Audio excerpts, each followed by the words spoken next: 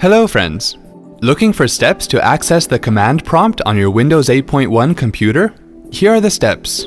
Click the down arrow icon at the bottom left of the start screen to access all apps. Go to Windows System section and then click Command Prompt to open it.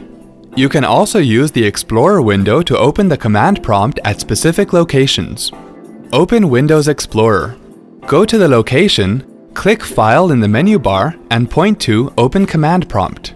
You get the option to open the command prompt either normally or with administrator rights. Click the desired option and the command prompt window will open. On the User Account Control window, click Yes to proceed to the command prompt.